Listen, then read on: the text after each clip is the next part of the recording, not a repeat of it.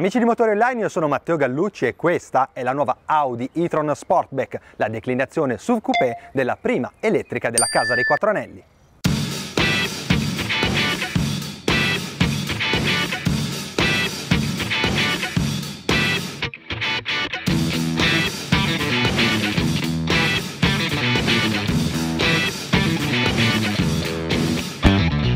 Partiamo con la consueta domanda, ci sta in garage perché con la Sportback le dimensioni sono davvero importanti, in lunghezza 4,9 m, in larghezza 1,93 m, in altezza solo 1,61 m con un interasse di 2,92 m e anche l'altezza da terra non è niente male, 17,2 cm. E come avrete capito dalle sue dimensioni l'Audi e-tron Sportback è davvero imponente, ma il suo posteriore da SUV coupé rende più elegante e sportiva tutta la silhouette dell'auto. Il frontale mantiene la tipica calandra single frame di Audi, ottagonale perché anche la e-tron Sportback appartiene alla gamma Q di Audi, quella dei SUV, ma lo fa a griglia frontale più chiusa, con uno stile più affine alla Q8 rispetto alla massiccia Q7.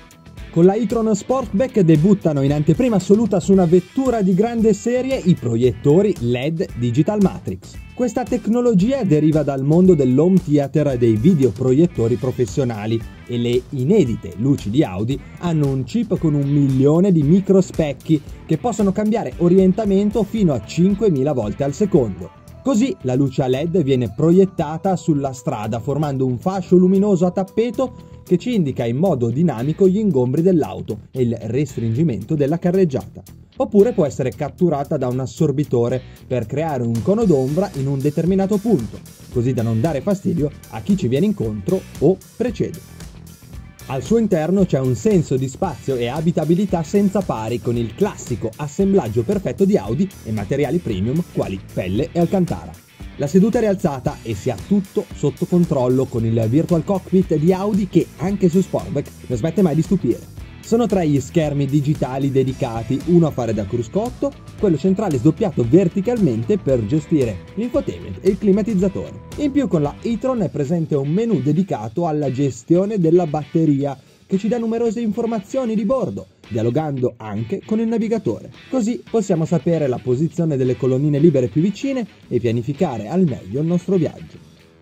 Se lo spazio a bordo sembra infinito per tutti gli occupanti, anche lo spazio dedicato ai bagagli non è davvero niente male. Nel vano anteriore sono disponibili 60 litri dove riporre oggetti e gli ingombranti cavi di ricarica, mentre il vano al posteriore non viene penalizzato troppo né dalla forma da coupé né dal pacco batteria che rimane sotto al pianale per una capacità che va da 615 a 1655 litri totali. Certo che la soglia di carico a 78 cm da terra può richiedere qualche sforzo per caricare i bagagli più pesanti.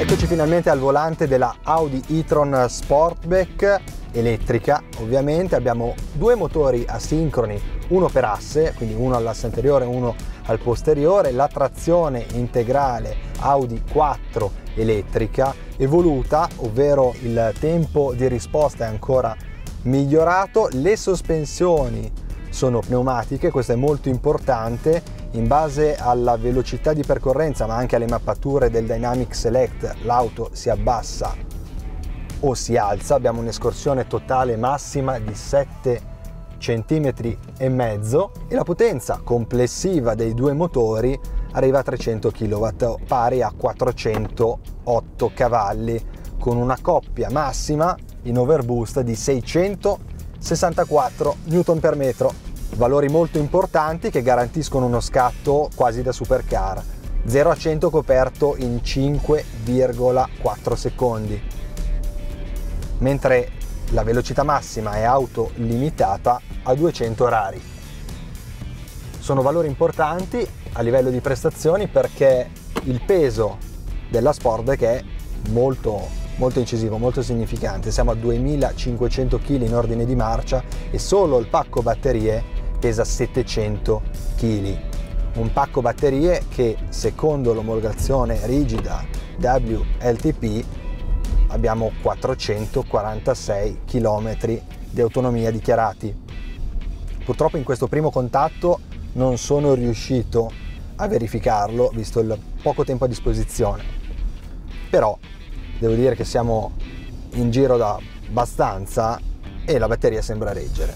L'auto in prova è la 55.4 che ha lo stesso pacco batterie della e-tron tradizionale, parliamo del, di 95 kWh, però grazie alla conformazione da SUV coupé, quindi col tetto discendente al posteriore e un'aerodinamica quindi più efficace, con gli specchietti virtuali arriviamo a un CX, a un coefficiente aerodinamico di 0,25 che è il record di categoria. E quindi questo permette di risparmiare in termini di consumi batteria e di aggiungere 10 km di autonomia complessiva rispetto sempre alla e-tron standard. Un'aerodinamica molto studiata, tutto il fondo è carenato completamente e quello che mi piace molto di questa e-tron, oltre al comfort assoluto sia acustico sia di marcia, è eh, come modula il pedale del freno e su un'elettrica è importante ed è quasi una rarità. Qui abbiamo i motori che intervengono direttamente per frenare la vettura e questo Audi ci dà un dato, il 90% delle nostre frenate non sarà non interverranno direttamente le pastiglie dei nostri freni, ma saranno i motori, i due motori stessi a frenare l'auto e a rigenerare energia per la batteria. E questo ci permette anche di aumentare l'autonomia complessiva dell'auto. A proposito della batteria, quanto tempo ci vuole per fare un pieno d'energia? Dipende dall'opzione scelta per la ricarica delle grandi batterie da 95 kWh. Il caricatore da 22 kW in corrente alternata è un optional, mentre di serie c'è solo quello da 11 kW, ma è in corrente continua da colonnina veloce che raggiungiamo la ragguardevole potenza di 150 kW, passando dallo 0 all'80% di ricarica in soli 30 minuti.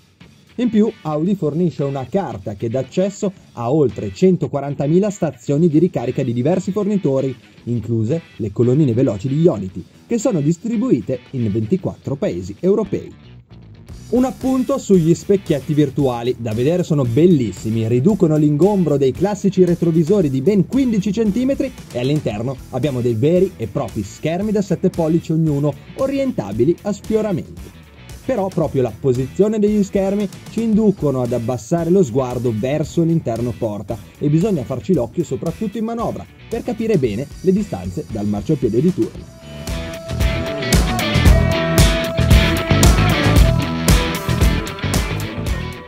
In conclusione, cosa mi è piaciuto della Audi e-tron Sportback e cosa non mi è piaciuto? Il comfort e silenziosità di marcia grazie al binomio trazione elettrica e sospensioni pneumatiche sono il massimo su qualsiasi tipo di strada. Lo spazio a bordo non è per niente penalizzato dalla linea da coupé ed è davvero molto per tutti e cinque gli occupanti. La dinamica di guida è buona e reattiva nonostante il peso e dimensioni con un pedale del freno modulabile che non ti aspetti su una elettrica. Di contro avrei preferito una dotazione più completa di serie la soglia di carico a 78 cm è elevata e non mi hanno convinto gli specchietti virtuali a livello di praticità.